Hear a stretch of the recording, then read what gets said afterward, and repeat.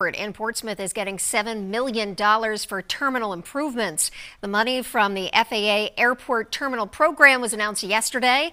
Those funds will help expand the public area at the baggage claim place and uh, replace electrical work and redesign the entrance and the exit.